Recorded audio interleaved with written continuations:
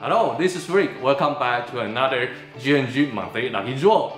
And today we're going to find out the lucky winner for the month of April, who is going to win our G&G LP9. And this month we have total of 2,786 participants. So let's find out the first number.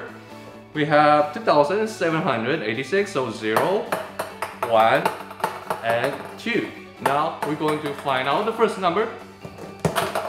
Okay, so the first number is 2. Now we're going to have 0 to 7 for the second number. So 3, 4, 5, 6, and 7. Now we're going to find out the second number. The second number is 5. Now we have 2, 5, and we have all the numbers in. The third number is going to be third number is going to be another 5. So we have 255 and we're going to find out the last number. And for the last number is 4.